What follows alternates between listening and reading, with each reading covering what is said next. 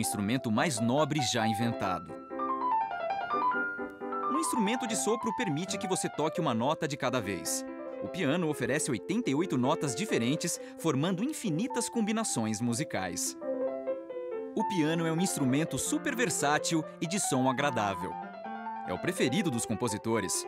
Mas quando o assunto é fabricar uma destas máquinas mágicas, como é possível?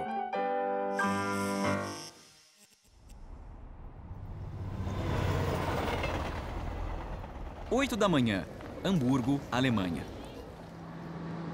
Dentro desta fábrica, uma equipe de artesãos e carpinteiros está prestes a fazer música.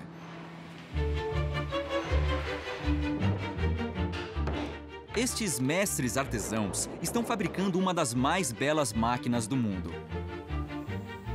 Um piano de cauda Steinway de 250 mil dólares. Este piano é o Rolls Royce dos instrumentos musicais e é feito com os materiais mais nobres. Mesmo com a melhor madeira, não é possível fabricar um instrumento musical super afinado usando tábuas do mesmo tamanho. Então, cada parte do piano é cuidadosamente manufaturada para cumprir seu papel específico. O corpo do piano precisa ser forte e à prova de som. Para obter tanta qualidade, 18 camadas de madeira de Bordeaux, cada uma com 6,7 metros de comprimento, são revestidas com cola e unidas. Já que não existe uma árvore em formato de piano, depois de coladas, as camadas precisam ser curvadas. Mesmo que um homem muito forte se responsabilize, músculos não são bastante para o trabalho. Então, um sanduíche de madeira é colocado em um torno em forma de piano. Depois, os artesãos trazem um equipamento pesado para forçar a madeira na forma. Como torturadores medievais, a equipe aplica 38 grampos e 24 braçadeiras por todo o torno para manter a madeira sob pressão constante. A madeira fica presa neste diabólico equipamento por 6 horas até que fique com o formato correto. O piano emite seu som maravilhoso quando as teclas são pressionadas. Pequenos martelos acertam as cordas de metal, fazendo-as vibrar. As 230 cordas do piano de cauda são feitas com aço inoxidável de alta qualidade. Cordas curtas sob alta pressão produzem notas agudas. O fio de cobre em volta do aço dá força para produzir notas graves. Mas as cordas por si só não produzem muito som. Elas precisam de amplificação. No piano, isso é possível com a caixa de ressonância, um pedaço de 4 metros quadrados de madeira de abeto, escolhida pela sua força e leveza e pela capacidade de vibrar sem rachar. Mas não podemos simplesmente parafusar as cordas na caixa de ressonância. A ponte entre as cordas metálicas e o amplificador do piano é este pedaço curvado de madeira com 3 metros de comprimento, conhecido como cavalete. Uma máquina faz 468 furos no cavalete, onde são colocados estes pequenos pinos de metal para esticar as cordas. Quando as vibrações de ar das cordas atingem a caixa de ressonância, ela age como um alto-falante gigante, amplificando essas vibrações. O som viaja pelo ar e o resultado é uma doce melodia. Para produzir este incrível som, as 230 cordas metálicas dentro do piano precisam estar sob constante pressão. Sem um reforço, a força das cordas destruiria o piano.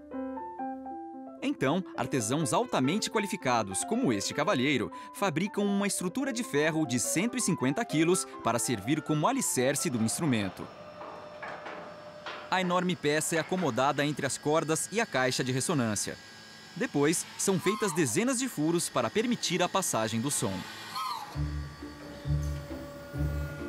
Com todos os elementos estruturais posicionados, os artesãos podem começar o trabalho que vai transformar um pedaço de carpintaria e metais em um instrumento musical.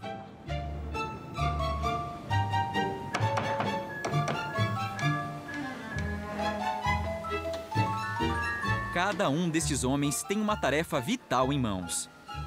A mais delicada é o encaixe dos martelos, que atingem as cordas do piano para produzir o som.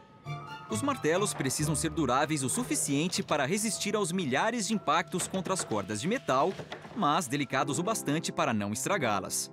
Por isso, eles são feitos com lã de carneiro, ao mesmo tempo leve e densa e revestidos com feltro. Elias Edo Pizarruolo é o responsável por fazer os martelos sempre acertarem o alvo.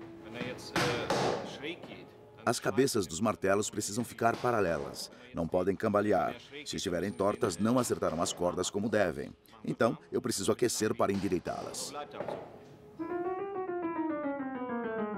Assim que o martelo acerta a corda, ela continua vibrando e produzindo som até que algo a interrompa. Imagine se as 88 notas tocassem ao mesmo tempo.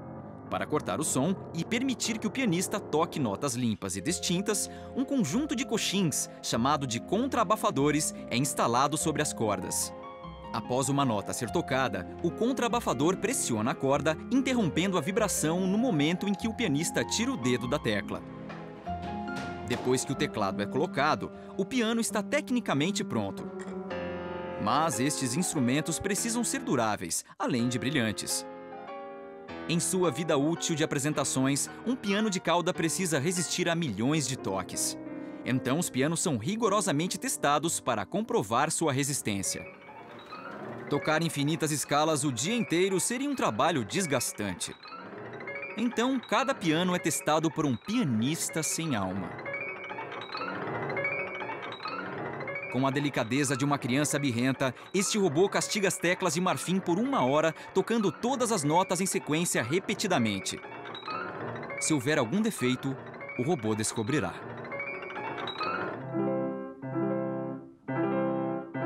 Agora, o piano é um instrumento musical funcional. Mas um piano de cauda precisa ser mais do que funcional.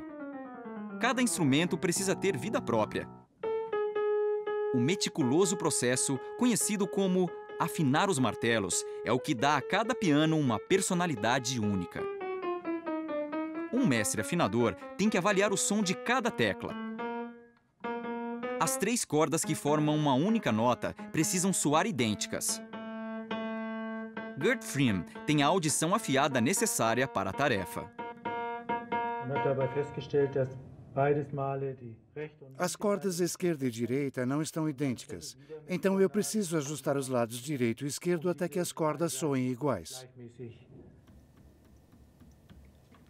Se soar muito áspero, ele suaviza o martelo perfurando-o com um forcado de três dentes. Se o som estiver fraco, ele endurece o martelo usando verniz. E só depois que o mestre aprova cada nota, temos um piano de cauda. Assim como o Ford T, o piano de cauda Steinway está disponível em diversas cores. Qualquer cor, desde que seja preta. Assim que os pianos recebem sua camada de tinta, são lixados e polidos para atingir a perfeição. O piano acabado é uma obra-prima da engenharia, resultado de 300 anos de evolução. Aqui, a engenharia encontra a arte.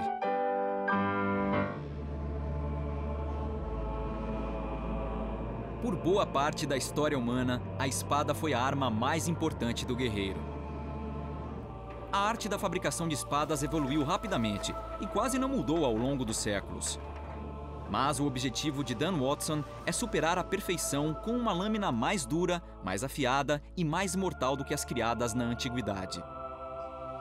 O segredo é um novo tipo de aço, resistente e flexível ao mesmo tempo. Mas como é possível? Conheça Daniel Watson. Ele é um mestre da arte marcial japonesa do Tamishigiri. No Japão do século 17, este teste para espadas e espadachins era feito com cadáveres humanos e criminosos condenados. Hoje em dia, mestres como Daniel usam materiais como feixes de juncos que simulam a consistência de um corpo humano real. E é isto que as lâminas mais afiadas de Dan fariam com um braço, perna ou pescoço. Qualquer um pode comprar uma das espadas de Dan aqui em Driftwood, no Texas, mas elas saem por até 22 mil dólares. É porque elas não são espadas comuns. A técnica de Dan para a fabricação de superlâminas começa com uma peça de aço comum e uma fresadora de precisão controlada por computador. Cortar metal gera muito calor. Por isso, o aço é banhado com fluido verde. O líquido resfria e lubrifica a broca, que desgasta o metal e lhe dá o formato básico da lâmina. Mas o aço carbono normal, como este, não é bom o bastante para Dan. Ele é muito frágil e pode quebrar numa luta de espadas mais séria. Para criar a lâmina perfeita, Dan precisa transformar este aço comum num superaço, incrivelmente afiado, resistente e flexível. O processo começa com algumas técnicas consagradas da fabricação tradicional de espadas. No calor da fornalha, a lâmina entra na terra de ninguém, entre o aço duro e o líquido derretido, um estado conhecido como solução sólida. Nesse estado, a lâmina mantém seu formato, mas as moléculas do aço têm liberdade para se mexer. A mudança de cor na superfície do metal diz a o que está acontecendo dentro da lâmina. Uma das coisas fundamentais nesse processo é a química da chama. Nós controlamos a química do aço com a química da chama. Quando a lâmina atinge o estado semifluido, Dan pode trabalhar o aço usando ferramentas tradicionais. Mas Dan não está apenas dando forma à espada. Ele está abrindo sulcos na lâmina de propósito. Este trabalho duro é uma ciência complexa. Os sulcos no metal vão dar forma aos veios de minerais duros que percorrem o aço comum como as fibras da madeira. Com os golpes de Dan, as fibras retas do aço assumem um formato espiralado, como os sulcos no interior do cano de um revólver. Agora, a energia de qualquer impacto mais forte terá de percorrer todos estes sulcos antes de quebrar a lâmina.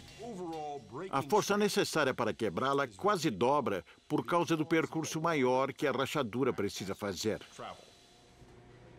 Mas isso ainda não é o superaço. Agora, Dan recorre à tecnologia do século XXI para criar uma lâmina muito mais forte do que as que os seus colegas da antiguidade poderiam ter feito. Após ser aquecida a mil graus centígrados, a lâmina é mergulhada num tanque de têmpera cheio de água gelada. Isso é o que eu chamo de têmpera flamejante. É isso que endurece a lâmina. Mas a água gelada não é fria o bastante para Dan. A temperatura máxima da lâmina, a velocidade da temperatura e o quanto ela é resfriada determinam se a espada será resistente, flexível e afiada. Então, Dan usa uma unidade de congelamento criogênico, controlada por computador para compactar a estrutura molecular do aço. Ao longo de uma semana, a espada será resfriada a menos 184 graus centígrados e aquecida a 232 várias e várias vezes, até Dan concluir que o aço pode ficar mais duro. O que nós fazemos é combinar o martelo, a bigorna, o fogo e o suor com a metalurgia do século XXI para criar uma super espada. Isso agora é um super aço.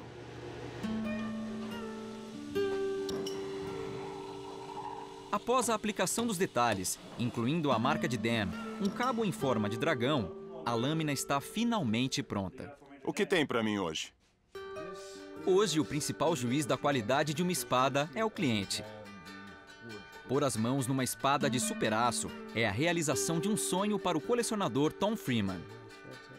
Agora, basta testar o metal tecnológico numa vítima indefesa. Vamos cortar alguma coisa para experimentar. Beleza. Se você topar. Este corte diagonal para baixo, ou kazagiri, permite que Dan gire o corpo inteiro, aplicando força máxima sobre a lâmina. Dan, como já dissemos, é um mestre na arte mortal do tameshigiri. Mais do que qualquer outra coisa, o símbolo do cowboy americano é o seu chapéu. Criado para protegê-lo do sol escaldante e da chuva pesada, o chapéu de cowboy é impermeável e muito resistente. Ele é também feito totalmente de pelos. Mas como é possível? É noite de rodeio em Fort Worth, no Texas.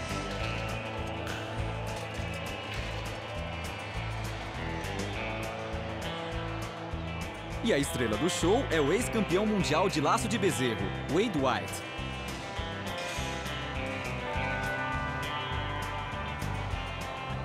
Ele é um dos melhores do Oeste e os fãs esperam que ele também seja o mais bem vestido. E isso inclui seu chapéu. Por sorte, estamos no Texas, lar da fábrica de chapéus Resistol, onde eles são fabricados há quase tanto tempo quanto o surgimento dos primeiros cowboys. A matéria-prima de seus melhores chapéus é uma mistura de pelos de castor, coelho e lebre selvagem. Os mais caros, de pelo de castor, podem sair por até 270 dólares. Os fardos de pelo que chegam à fábrica são empilhados manualmente, desfiados e misturados por máquinas. O problema é que esta mistura de pelos é compacta demais. Então, ela é sugada por máquinas com 10 metros de altura que separam as fibras por meio de um processo chamado de sopragem. Esses chapéus são fabricados à moda antiga e muitas dessas máquinas foram construídas há mais de 100 anos. E estas relíquias do Velho Oeste seguem uma outra antiga tradição. Suas peças duram tanto quanto uma trégua entre cowboys e índios. Encontrar peças novas para essas velharias é um grande problema. Podemos comprar os rolamentos, o que é bom, mas no que diz respeito a essa máquina, não dá para comprar peças novas. Temos que encomendar ou fabricar aqui mesmo. Construir peças novas é um desafio constante para o pessoal da oficina. Algumas máquinas são de 1845 e acho que outras de 1820. Então é tudo bem velho. Então, se o nosso amigo James Jacobs estiver certo, uma dessas máquinas pode ter feito chapéus para o lendário xerife do Velho Oeste, Wyatt Earp. Graças à equipe de engenharia, a máquina logo volta a funcionar, produzindo algo que mais parece ter saído do filtro da máquina de lavar de um gigante. O problema é que algumas fibras ainda são longas demais, o que não combina com um feltro da melhor qualidade. Então, outra máquina do tempo das diligências elimina os fios longos e gera mantas de pelos curtos e uniformes. Mas ainda estamos longe de um chapéu. Este pelo precisa resistir ao calor, ao frio e ao atrito. Para sobreviver ao Velho Oeste, ele tem de se transformar em feltro. Dividido em porções adequadas, o pelo passa por um processo chamado de informação. Aqui as fibras aderem a um cone giratório de metal com a ajuda de um aspirador de 5.000 watts. Depois, esses chapéus cônicos de um metro caem nas mãos do formador, que foi formado pelo formador anterior. Ele envolve os cones em tecido molhado e os mergulha na água quente. A água quente solta as fibras, que são esmagadas por rolos gigantes e transformadas em feltro denso. Então, os chapéus são prensados à máquina para que o pelo fique ainda mais compacto. Um feltro mais concentrado torna o chapéu menor e mais resistente. Mas ainda há o problema do visual. Esses chapéus estão mais para camponês medieval do que para Butch Cassidy. A solução é um processo mecanizado de moldagem e vaporização que dá ao chapéu sua forma básica. Mas básico não é o bastante. As estrelas do rodeio precisam de mais. Por isso, os chapéus viajam 200 quilômetros para receber o acabamento em Garland. Esta é a maior empresa de acabamento de chapéus de cowboy do mundo. Ela recebe 2.700 chapéus por semana, todos etiquetados com instruções para o produto final. O chapéu básico é mole demais para um cowboy que se preze. O segredo para endurecê-lo é uma resina chamada goma laca. Secretada por insetos, ela também fornece o acabamento brilhante a comprimidos e pastilhas.